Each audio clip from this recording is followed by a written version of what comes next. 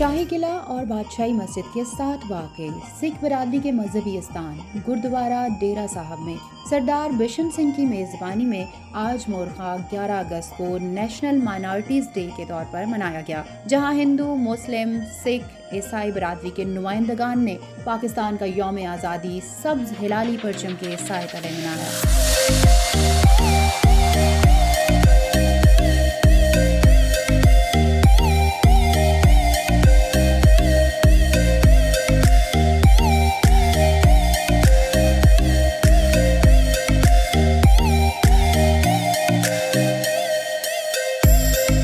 ਚਰਚਾਂ ਦੇ ਵਿੱਚ ਮਸਜਿਦ ਦੇ ਵਿੱਚ ਜਿੱਥੇ ਜਿੱਥੇ ਜ਼ਰੂਰਤ ਹੋਏ ਸਾਡੇ ਨਾਲ ਮਖਦੂਮ ਆਸਮ ਬੈਠੇ ਅਸੀਂ ਇਹਦੇ ਖਿਦਮਤ ਹਾਸਲ ਕਰਕੇ ਤੇ ਹਰ ਜਗ੍ਹਾ ਜਾ ਕੇ ਅਸੀਂ ਮਸਜਿਦਾਂ 'ਚ ਵੀ ਪੌਦੇ ਲਾਵਾਂਗੇ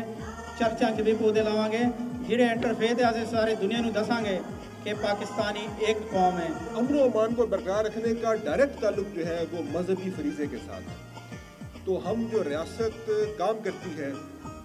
ایڈمنسٹریشن کام کرتی ہے پولیس کام کرتی ہے لا انفورسمنٹ ایجنسیز کام کرتے ہیں۔ اس لیے آپ کو نظر آتا ہوگا کہ ہر جگہ پر یہ جو پولیس آپ یا ہماری ایڈمنسٹریشن ہم کوشش کرتے ہیں سب کو اکٹھا کریں، ہم تمام مذاہب کو اکٹھا کریں، تمام مسالے کو اکٹھا کریں، تو یہ اس بیسیکلی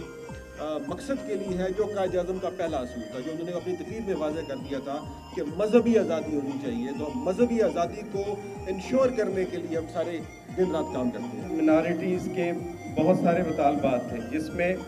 ان کا فورس کنورژن کا جو بہت بڑا مطالبہ تھا اور prime minister of Pakistan Imran Khan وہ پہلے اسٹیٹ آف دی ہیڈ ہیں کہ جنہوں نے فورس کنورژن پر بات کی ہے۔ ڈپٹی کمشنر لاہور مدثر ریاض صوبائی وزیر برائے اقلیتی امور اعجاز اسلم اور D G P H A Yasir Gilani اور دیگر رہنماؤں نے دعائیہ تقریب میں شرکت کی اور اس موقع پر شجر کاری بھی کی گئی۔